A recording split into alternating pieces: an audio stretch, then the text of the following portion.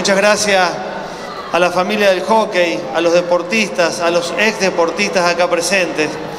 Muchas veces me preguntan si es difícil estar al frente, por ejemplo, cuando estuve como intendente o ahora como gobernador.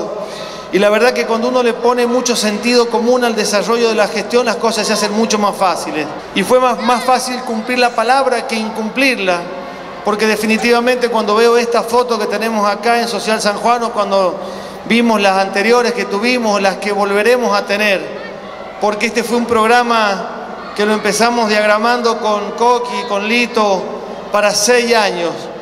Y así fuimos de seis a cinco, de cinco a cuatro, y hoy la totalidad de los clubes de hockey de la provincia de San Juan tienen los techos licitados, algunos construidos y otros en proceso de construcción. Me parece que ese es un logro de cada uno de los deportistas de la provincia, de la familia del hockey, y no es un logro de nadie de manera individual.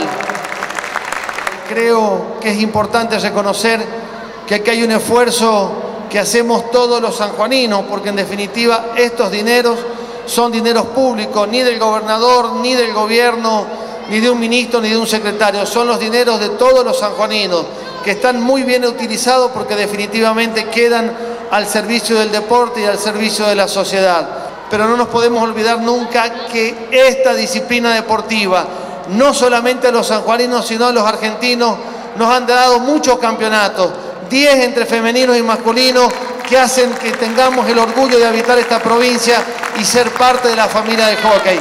Disfruten esta infraestructura queda para ustedes. Gracias, Guillermo. Gracias a toda la familia de Social San Juan. Un abrazo para todos.